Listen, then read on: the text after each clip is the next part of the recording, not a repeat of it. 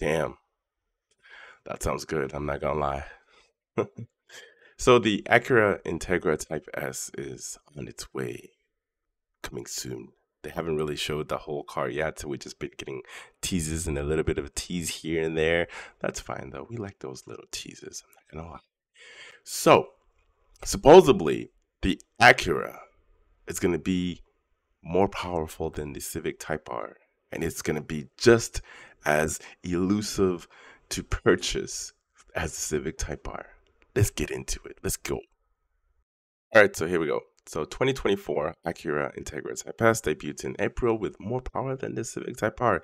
And to be completely honest, it makes sense because the Acura is going to weigh a little more than the Civic Type R because of all the luxury and parts that it's in the car, like leather seats, Type R don't have leather seats, man. It's not made for comfort. It's made to drive. And this is gonna be made for to drive too, but a little bit more comfortable. so, getting straight to the point, the 2024 Acura Integra Type S will produce 320 horsepower. 320. But that is just only 10 more than the Civic Type R. I think the Civic Type R is at 310. so, here we go. And 310 foot pounds of torque. Damn. Okay.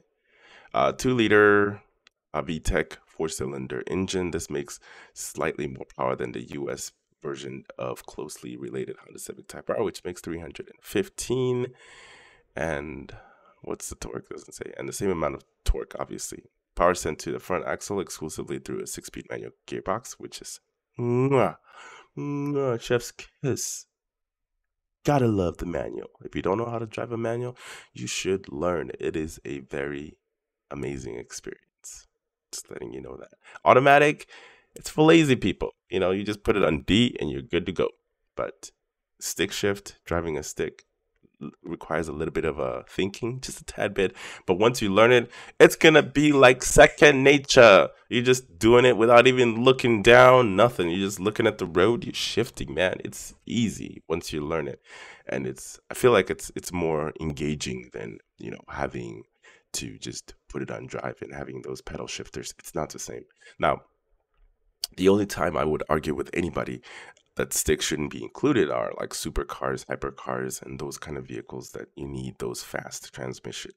Now that to me makes a little bit more sense for those cars to be automatic or DCT or whatever um, system that they have.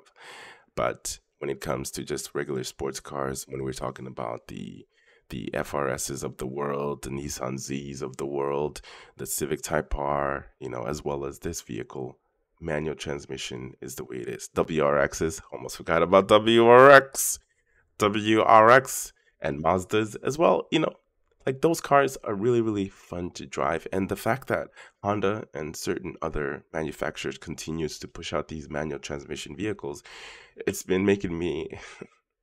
I'm not gonna lie, it, it, it makes me happy because I don't want to lose the manual transmission because manual transmission is just part of our history. I don't know. That's where it all started, to be honest. And in other parts of the world, like European um, manual transmission, it's huge there. They even have manual transmission on police cars, manual transmissions on freaking uh, ambulances. It's crazy, right?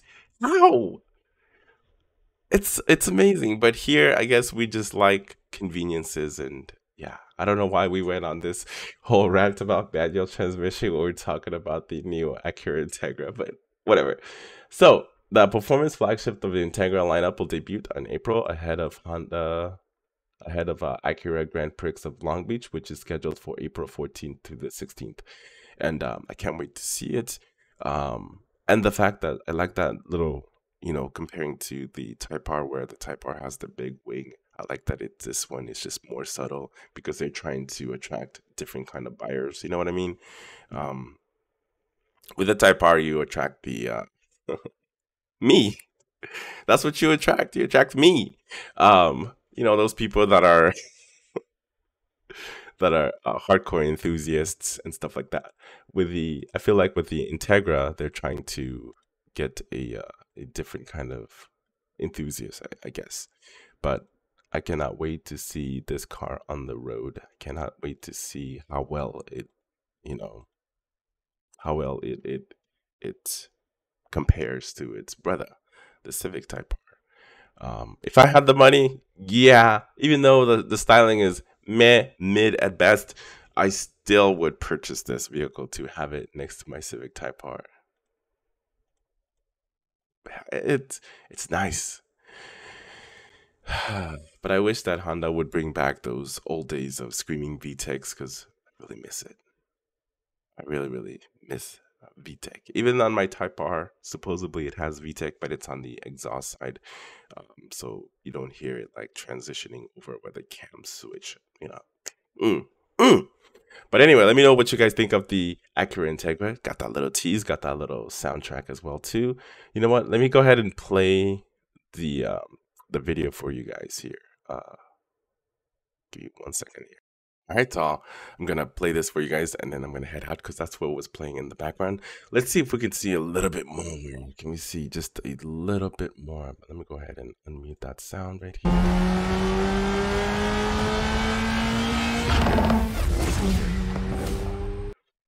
So this one looks like the uh, looks like a phoenix yellow.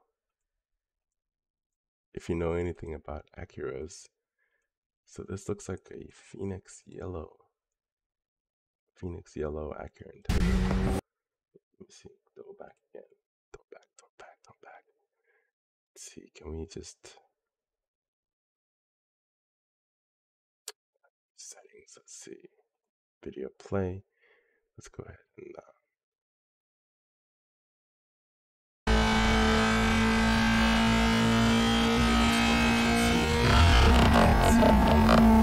But um, one thing I know, the color is definitely looks like Phoenix Yellow, or that can be a different version of the yellow. But yeah, maybe it's the lighting and everything. But you guys let me know in the comments below, and uh, I'll see you in the next one. Make sure to like and subscribe too. All right, it's free.